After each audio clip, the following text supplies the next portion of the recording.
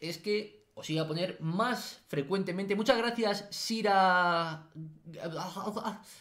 ¿Vale? Eh, que os iba a poner con más frecuencia la cámara. Sí que es verdad que mientras juego, que hoy jugaremos Counter-Strike, lo que haremos será el... ¿Cómo se dice esto?